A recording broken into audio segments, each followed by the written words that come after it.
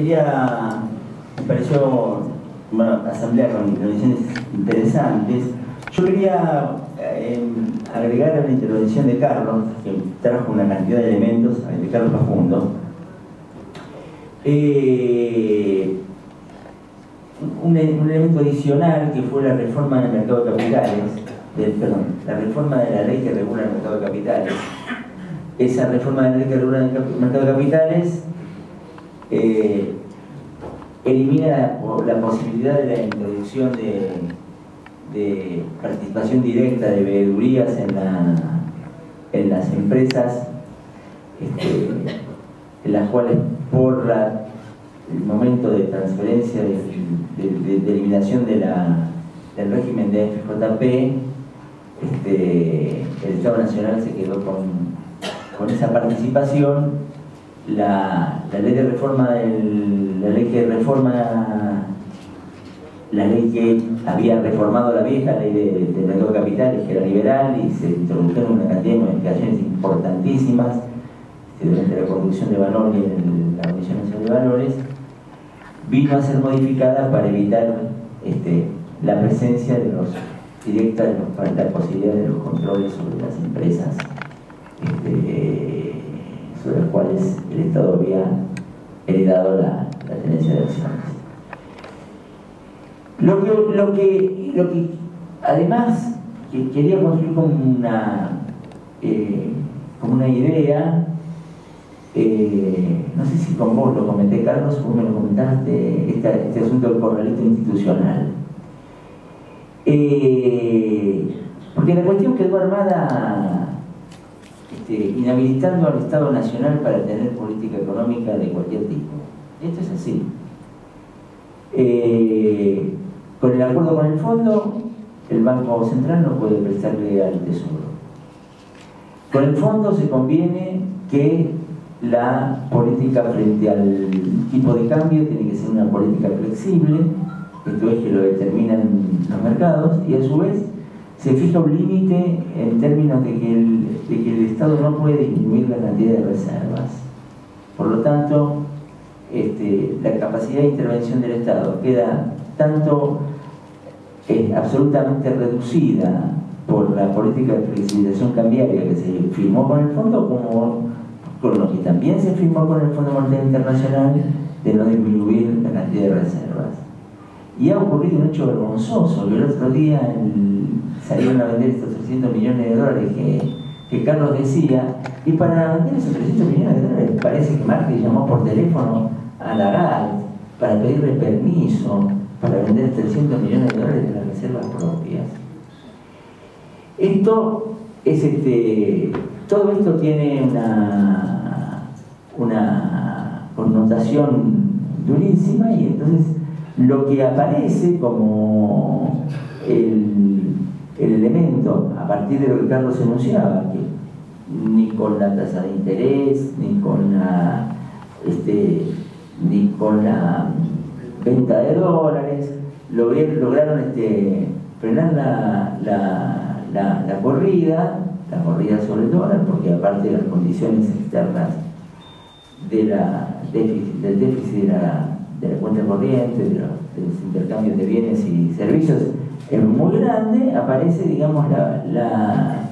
la, única posibilidad en este torniquete, en este armado, en esta ingeniería, en este dispositivo institucional que es armado entre el gobierno argentino en su acuerdo con el Fondo Monetario Internacional, que yo creo que no reconoce antecedentes en el grado de sumisión, en el grado de sumisión discursiva, en el grado de sumisión en términos del dispositivo que se ha armado, con un Fondo Monetario Internacional que es mucho peor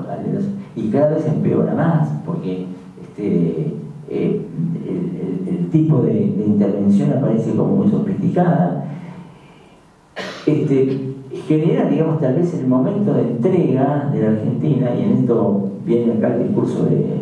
la intervención de Carlos, en donde dice, bueno, neocolonialismo, una palabra que parece como vieja, sí, pero neocolonialismo. Neocolonialismo tanto, ah, no solamente aparece este, muy herida las cuestiones que tienen que ver con la independencia económica, sino que aparece absolutamente este, este, resquebrajada la independencia política del país, en tanto y en cuanto, ni desde el punto de vista formal, aparecen condiciones para que el gobierno pueda tener política económica propia. ¿Cuál es la política propia, económica propia del gobierno? Lo que están discutiendo ahora este, con fuerzas opositoras o gobernadores, etcétera, a ver cómo se corta aquí, cómo se corta allá el, el gasto. Encima, también el, dispositivo de acuerdo con el Fondo Monetario dice que los impuestos, y el discurso es que los impuestos no se pueden tocar demasiado porque la presión tributaria está muy alta, entonces lo que queda es justamente la reducción del, del, del gasto. ¿Qué, ¿Qué, implica la reducción del gasto? Implica recesión, redistribución regresiva del ingreso, eso implica la, reducción del gasto este, podríamos eh, extenderlo, pero no lo voy a hacer, no lo voy a hacer, que aunque haya políticas sociales extendidas en términos de focalizaciones que eviten conflictos en lugares donde se produzcan las cuestiones más terribles, con eso se compensa todo el efecto redistributivo, redistributivo regresivo que tiene una política de este, de este, de este carácter. Esto es así. Entonces, esta es la, esta es la política que este, se impone. Entonces aparece, digo, se formula, este, desde yo diría, no como novedad del mejor lugar, tal vez lo sea, pero el único lugar desde el cual se puede construir una política contrahegemónica, que es la política de movilización de los movimientos sindicales, sociales, de las organizaciones populares en la calle. Porque si hay una única herramienta política que hoy tiene la potencialidad para detener esto, es lo que se decía, es esto del 9 de julio, son las movilizaciones populares, es la movilización callejera. No hay, no hay otro ámbito de la política, y esto lo subrayo, que hoy pueda este, garantizar esto, que pueda resolver el futuro, porque el futuro se resuelve en las condiciones en que hoy se están desarrollando los hechos de la Argentina. Este,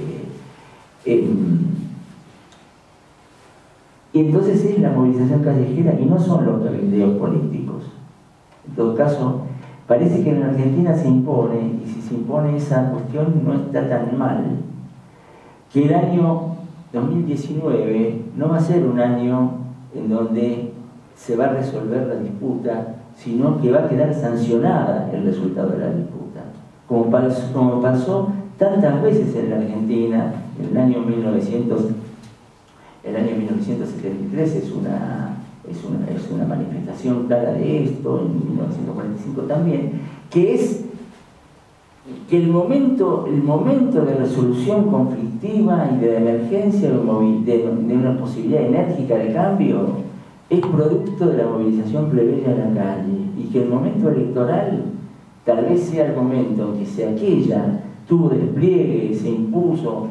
avanzó en la sociedad, el momento electoral es un momento de sanción. Cuando uno piensa en estas cuestiones, este, aparecen como dos elementos que me parecen este, eh, fundamentales como, como poder, eh, como, este, para, poder eh, fijarse en qué lugar se está. La verdad que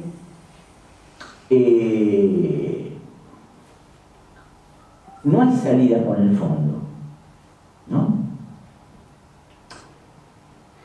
Efectivamente, no hay, yo coincido con Carlos, porque en esto hay que ser preciso, no hay un riesgo de default inmediato. ¿Por qué no hay un riesgo de default inmediato? Se fueron corriendo al Fondo Monetario Internacional para que le dé una línea de crédito de las más importantes que ha dado en su historia, con todas estas condicionalidades. Los riesgos son de colonización, no son, y digo, establezcamos el lugar donde, el lugar donde esté. ellos, para evitar el default, la corrida sin límite, este, una situación gravísima en términos de, de descalabro macroeconómico, ellos mismos fueron generando. Acá el tema de cuánto fue autoinfligido, no fue autoinfligido, la verdad que no es el tema de discusión. El tema de discusión es lo que ocurrió como política de beneficio de determinados sectores que en determinado momento terminó yendo, yendo al Fondo Monetario Internacional para este, eh, reconstruir grados de, algún grado de manejo sobre la situación de la política macroeconómica. Entonces, construyeron en función de dar alguna, alguna, alguna extensión más o menos de mediano plazo a, a, una disponibilidad de divisas, construyeron un dispositivo de negociación con el Fondo Monetario Internacional, que es un dispositivo, como lo decía Carlos, de carácter neocolonial. ¿Por qué de carácter neocolonial? Esta no es una consigna, lo es en términos de la pérdida de poder, en términos del gobierno, para tener una política económica propia. Y más, están apareciendo nuevamente los artículos sobre la dolarización, sobre la Argentina, y no solamente los artículos, la conversión, la emisión, la emisión de títulos nominados en moneda extranjera por parte del Estado argentino, también construye las bases para poder este, eh, dolarizarse en el, o para, para un camino de dolarización en el futuro. ¿Qué es la dolarización? La dolarización es la pérdida de la moneda. Y la pérdida de la moneda, con todo lo que tenemos armado, con el discurso que se está armando, con el tipo de cultura que se pretende generar, es la creación de un, de una, de, un momento de carácter, de carácter neocolonial. Las, entonces, la confrontación con esto, que es una confrontación este, popular, bella, importante en las calles, y que, y que hay que reconocer en esto, porque acá se dicen los actores, ¿no? Están los actores convocando, un hecho de la cultura, pero también un hecho de la convocatoria en la cual tienen fuerte presencia los organismos de derechos humanos, los organismos de derechos humanos que representan un movimiento social importantísimo de la historia argentina, que de esta última etapa de, régimen institucional de orden democrático formal, como se quiera decirlo. Pero es esta posibilidad, esta, esta, esta cosa que está muy encarnada en la sociedad de la vida democrática, es lo que va en, es un elemento, es un, patrimonio popular que va a impedir que, o que va a ser una herramienta muy poderosa en términos de impedir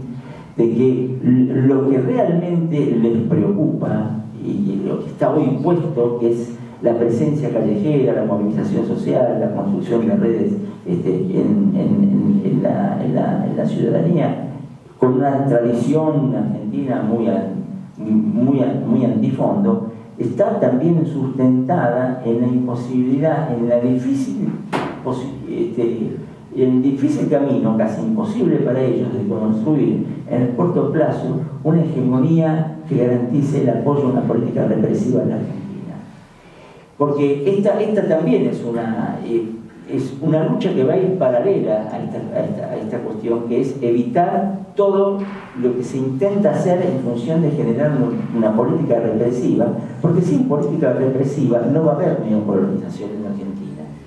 Esta es la, esta es la, otra cuestión, el otro, elemento, el, otro, el otro elemento fuerte. Y en cuanto a la alternativa, la alternativa que hay, no hay alternativas, este, no hay alternativas suaves, con reformas, porque acá está, la política es con acuerdo con el Fondo Monetario Internacional, o la política es romper con el acuerdo con el Fondo Monetario Internacional e ir hacia otra política. Esta segunda política exige medidas que son de radicalidad.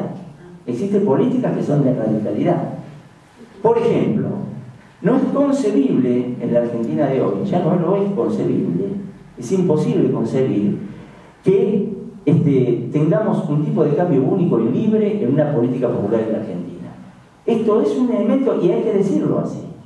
y hay que decirlo así. Esto, ellos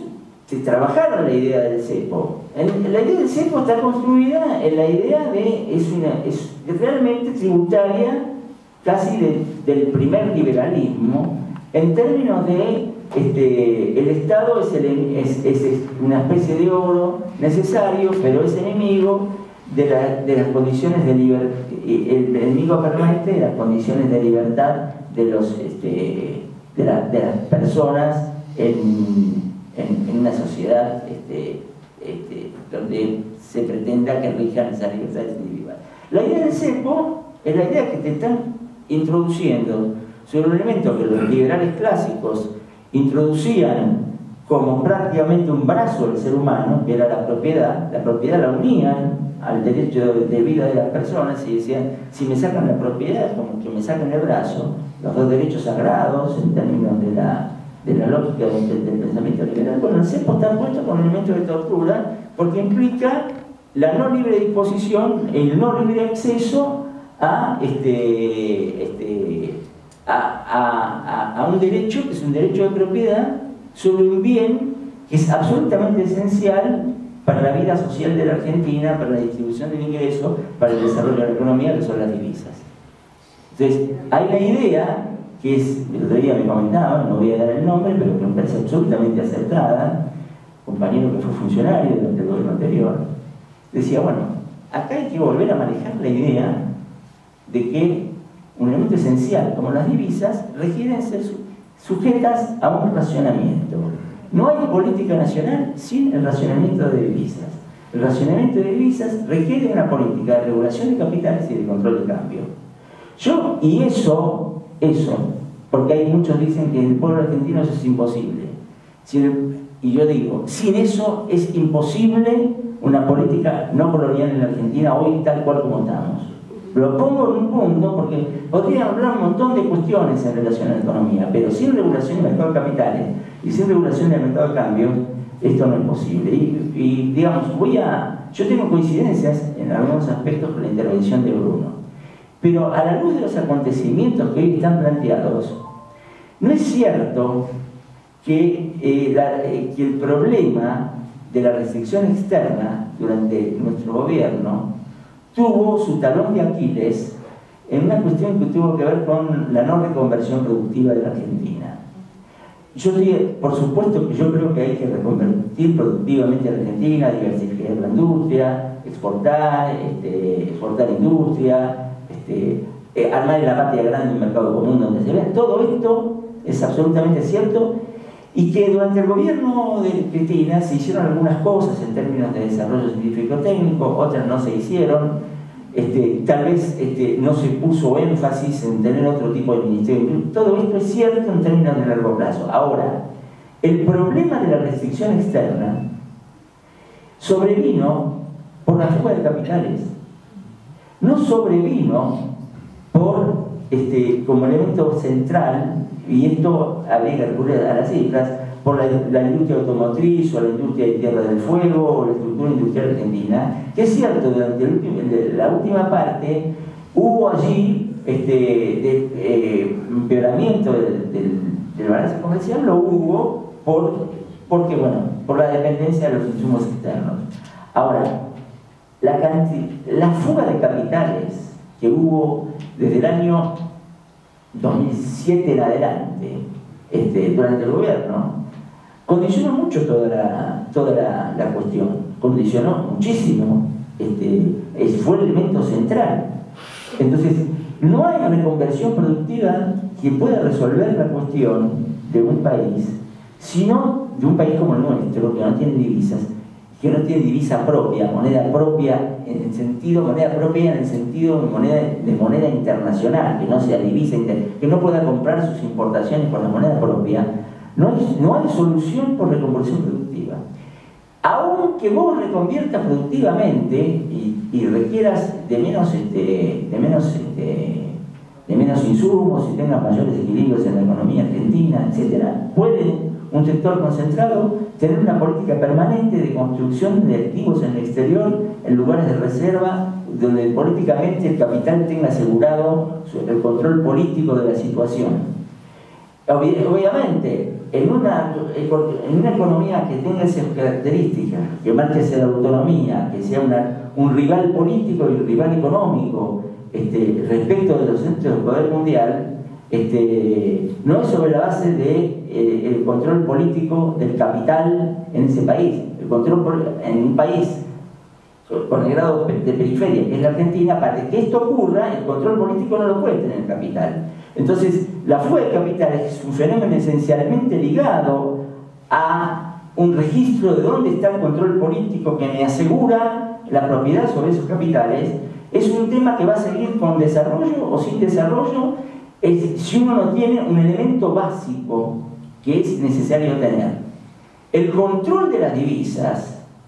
el control de las divisas, el poder sobre la divisa, este, el racionamiento de divisas es un elemento central de un proyecto político de transición hacia un modelo democrático, nacional y popular, aún en condiciones con mayor, este, con mayor desarrollo. Este es un elemento cultural que no se puede dejar de... Ahora, para eso, eso, la ruptura con el fondo implica justamente eso. Porque ustedes fíjense, tenemos hoy, eh, decía Carlos, 61 millones de dólares de reservas. 61 millones de reservas es un nivel importante de reservas. 25 propio. Este, bueno, pero ese cálculo no lo hagamos porque lo podemos hacer en cualquier momento del, registro histórico, ¿no? De, antes también. Bueno, entonces, vamos a lo cierto es un nivel de reservas importante. De manera de que si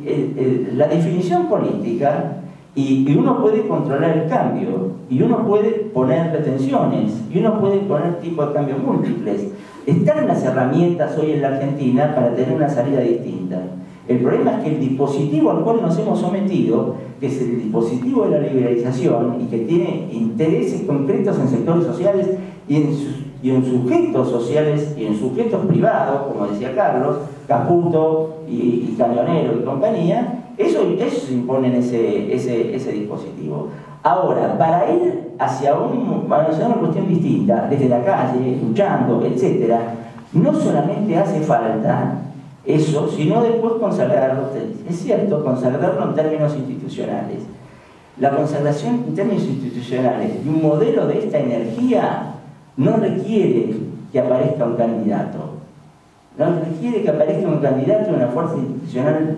cualquiera que compita y que se pelee en las elecciones y se dice No, la cuestión se define en el marco de la movilización popular. Y desde el punto de vista de su conservación electoral hace falta un liderazgo político fuerte, un liderazgo político que, que sea un verdadero emblema, que registre una época de cambios etcétera, Por eso entiendo que la movilización popular se completará como proyecto político en la Argentina con la candidatura de Cristina Fernández de Kirchner, porque la verdad es que no hay otro candidato que tenga, que pueda registrar esa, esa potencia que requiere un liderazgo que no es simplemente una candidatura a un puesto institucional, sino que es la fusión de liderazgo institucional y liderazgo popular.